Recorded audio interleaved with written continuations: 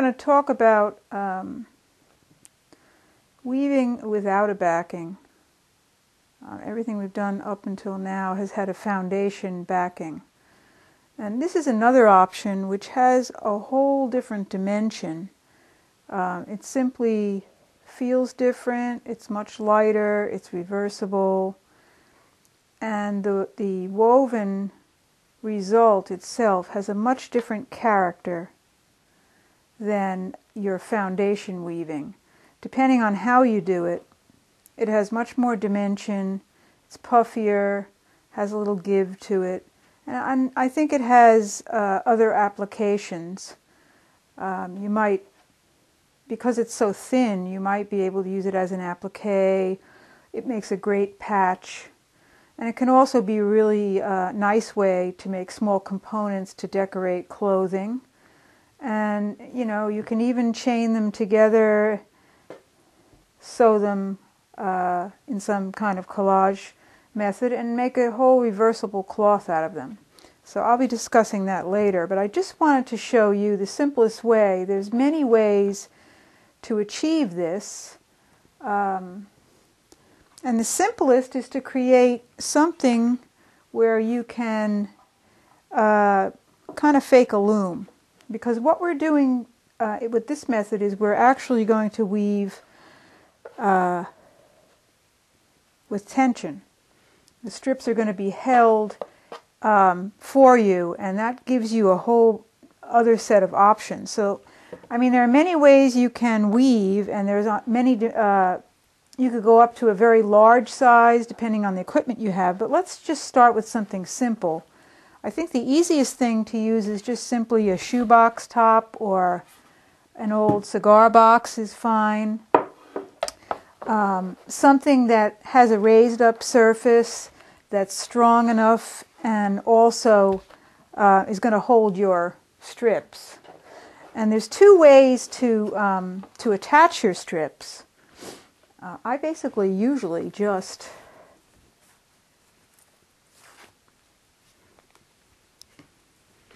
start with something shorter. I just kind of uh, wrap them around like this and actually tie them in a bow. The thing about this method is you need a little bit of a longer strip. The reason I tie them in a bow is so that I can get them out later. I've done one here already. And you can see that I'll just be able to pull these out later without unknotting them or cutting them or wasting anything. And then the other option is to actually wrap them around and pin them on the back. Your, your safety pin is your best option, but you can use a couple of straight pins, that's fine too. So let's just see where we are with this now. What, what you've got here is you've got a nice um, a nice setup where you, you're, you're kind of hands free here and you can get a better feel for your weaving. And let me say also that the tighter you pull your strips, the more they're going to contract when you take this off. So if you want a real puffy dimensional fabric, then you can really stretch them tight. And what you'll want to do is just start weaving. And also, I want to mention that you don't necessarily have to use straight strips either. But here you're really going to get a feel for the weave because you're going instead of lifting your strips up, you're really going to weave them in and out. And it's a great way to get a sense of how the weave works. Now again, I start from the middle. And one of the most different things about this method is, and I do, I'm, I'm keeping a bunch of needles here threaded, is that you can go right in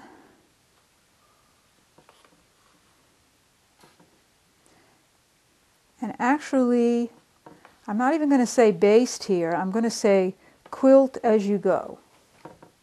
You can stick your hand right in there, get at it, now you can use this like an invisible baste and make a long stitch on the back, but because you don't have a backing and you can use both sides, you might want to consider what kind of stitch you're taking. I mean, I, the first go around, I would just give it a try and see how it goes. It's really easy to get at because you can go in between all the strips.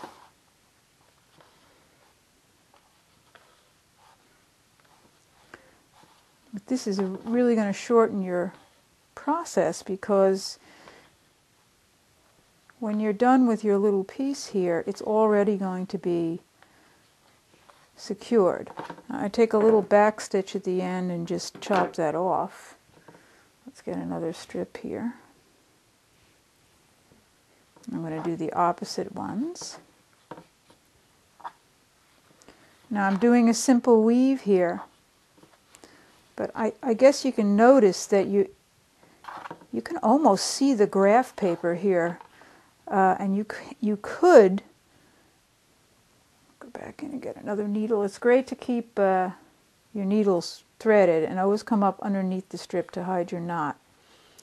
You could really get to a feel of how the weaves work and design right on the web here because for me, when you don't have to be picking up the strips so much, you can experiment with the floats and the way the design works a much much easier. So this is a great introduction to woven fabric. But you see how well this comes together and how quickly. Now, for instance, I could just let this float over three and start to make a design right here.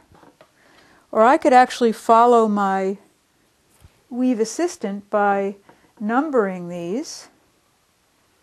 And when it tells you to lift one, you're just going to put your strip under that particular number. So if you'd like to try some other weaves with this, that's fine too.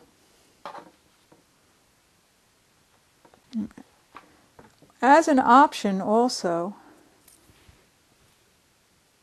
if you don't want to stitch all the way across, you can also do a tie. You can just take a couple of stitches in place at either end, just like you did with your pins. If you want to just hold it like that. This is really fun to do on a train or during your commute to work. People will really stop and ask you what it is you're doing. Okay, so now we have a sample. So all we're going to do now is we're going to turn this over and undo the bows. If you have the extra fabric, this way you can reuse the rest of the strips or you can utilize the fringe in some way. Okay, now you see that both sides are usable and you really get a beautiful loose dimension here. I mean, now you can go back and use this for just about anything. It can just be a piece of cloth that you stitch and use as cloth, or uh, you can use it for all kinds of things. So I, would, I suggest you try some of these. They're really fun and they really give you a nice feel and a nice result. And I've got another one here that I just want to show you one more option. You know, this is flexible. You can scrunch these up and you can fold them or you can spread them out. But the, one of the most interesting things I like is you can actually go back in and split these. And then you can actually have a whole other set of weaving elements that might change your design into something uh, much smaller. So you can start going in and actually making some compound weaves right on your loom. They're just different options with each technique. If your strips are thin enough, you can just go back like that. You don't even have to cut them off at the end.